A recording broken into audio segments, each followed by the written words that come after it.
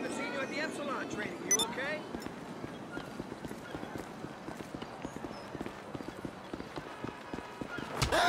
hey, what? Ah! Police!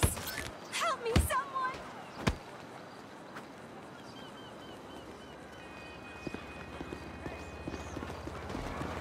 No me lo creo.